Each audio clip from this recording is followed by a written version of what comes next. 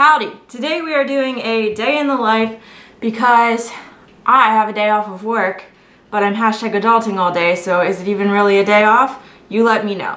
But as for today, it is a new month and my calendar is almost completely blank, so I need to fix that so I know where I need to be and when.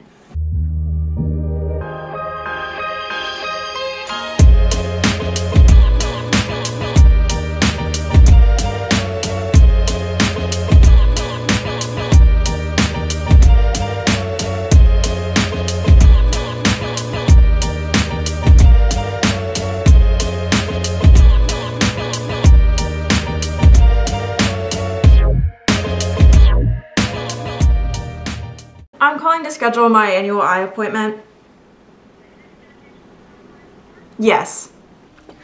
Okay, so now that I got my schedule all written out and I threw some laundry in and did some stuff around the house, I need to go to Kohl's because I have some returns to make and I also need to look for a trade gift because our family Christmas party is this weekend and we always do a women's trade and a men's trade and the limit is $50 and it, it's like it's such a fun game. There's like three steals allowed and then the last person who gets picked gets to pick whatever they want even if things are like sold. Yeah so I need to go find something good for that and we'll see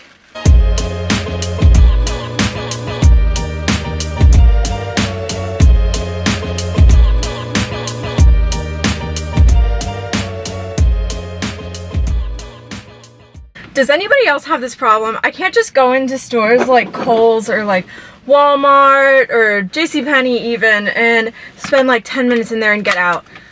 It's dark outside. I'm pretty sure it's been like two hours. Also, look at the sky right now. It's like cotton candy. Isn't that cool? But anyway, now I'm headed to Walmart because I need to pick up some Oreos so I can make Oreo truffles tonight for the Christmas party. And I think I need to get some like white bread so we can put slices into the cookie boxes so they don't get stale.